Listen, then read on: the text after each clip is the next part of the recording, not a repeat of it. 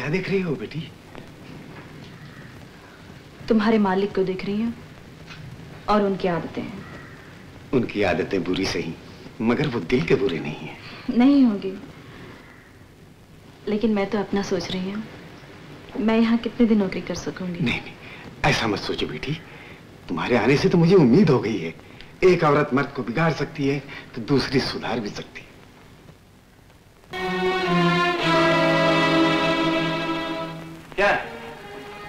यार इतनी बड़ी टोली क्यों आई? बोलो बोलो बात क्या है बड़े सरकार से बोलो। बात तो कोई नहीं। बरसों से आपकी ज़मीन पे काम और आपके पाँव की गुलामी करते हैं। है? महँगाई के जमाने में जिस तरह चीज़ों के दाम बढ़े हैं मजदूरों की मजदूरी भी बढ़ी है। हाँ हाँ कहना क्या चाहते हो? आपके पास वाली ज़िम्मेदारी में जो हल चलाता है उसको तीन रुपए मिलते हैं। जो सड़क कूटता है उसको चार। जो कारखाने में काम करता है उसको पाँच। मगर हम आज तक दो ही रुपए में काम कर रहे हैं। तो तुम लोग हमें धमकाने आए हो? तुम भी चले जाओगे कारखाने में। हम कैसे जा सकते हैं मालिक? हमारे खून में आपका नमक रचा हुआ है। हम तो सिर्फ़ आपसे अर्ज़ करने आए हैं। आप दया कीजिए और हमारी मजूरी बढ़ा दीजिए। अब तुम लोग जाओ। बड़े सरकार तुम्हारी मांग पर विचार करेंगे। नहीं! ज़मीन हमारी है कुएँ हमारे हैं हल हमारे हैं बैल हमारे हैं। तुम लोगों का क्या है इसमें? जरा सा हाथ ही चलाते हो ना? सच कहा आपने। हम जरा सा हाथ ही चलाते हैं। एक छाले हमने शौक से उगाए हैं जैसे आप बगीचों में फूल उगाते हैं। यू! कान खोल कर सुन लो। पैसे तुम लोगों को उतने ही मिलेंगे जितने मिलते थे। आगे तुम्हारा अपना फैसला। फैसला तुम मालिक आपने खुद ही लिख दिया है यहाँ। हम इतने पैसे में काम नहीं करेंगे। बेशक हमें भूखा मरना पड़े अपने घरों में।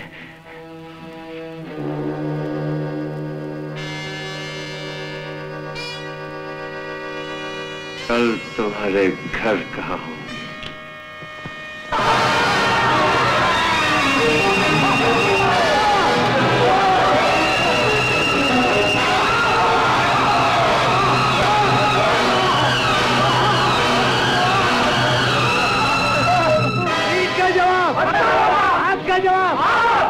हमारे घर चलाए हैं। हम उसका घर चलाए पीछे हटो। कहाँ जा रहे हो तुम? हम बड़े मालिक से मिलना चाहते हैं। उसे अब भी मालिक कहते हो तुम? उसे कातिल कहो कातिल। ठहरो उस आदमी को अंदर आने दो। ठीक है। तुम सब लोग यही ठहरो। मैं अकेला अंदर जाकर तुम सबकी चीखों से इस महल की दीवारें हिला सकता हूँ।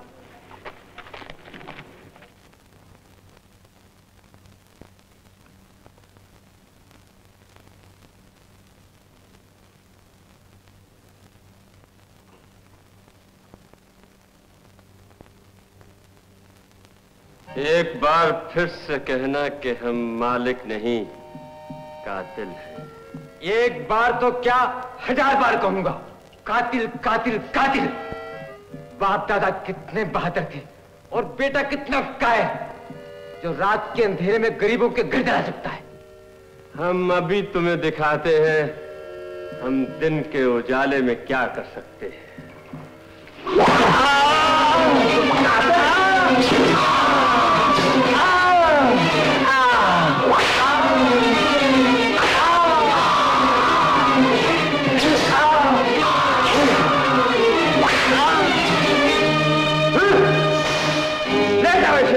दो बाहर।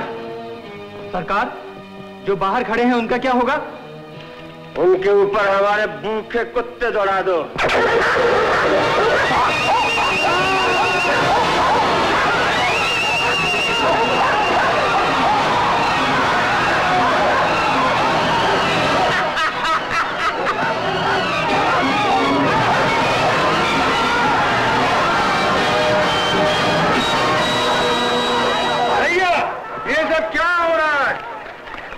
पहले भूखे इंसानों पर कुत्ते दौड़ाए अब उन पर बंदूकें तानी जा रही। तुम इन्हें इंसान कहते हो? सिर्फ़ इसलिए कि इनकी दो टांगे हैं चार नहीं? लेकिन इनका कसूर क्या? यही ना कि उन्होंने दो रुपए के बजाय तीन रुपए मांगे अपने खून और पसीने की कीमत। आप समझते क्यों नहीं है? आपका हर एक कुत्ता रोज दस रुपए का मांस खाता है तो क्या ये आपके कुत्तों से गए गुजरे हैं? तुम जानते नहीं हो करण। जो आज अपने खून और पसीने की कीमत मांग रहे हैं, वो कल तुम्हारा और हमारा खून मांगेंगे। अंदर जाओ, शराब पियो और चुप रहो। जाओ। नहीं, ये हमारे सवाल का जवाब नहीं भैया, ये सिर्फ़ रोटी तो मांग रहे हैं, रोटी जिन्होंने अपने हाथों से पैक की है। कल को अगर इन किसानों ने हल फेंक दिए तो हम जमींदारों का क्या होगा?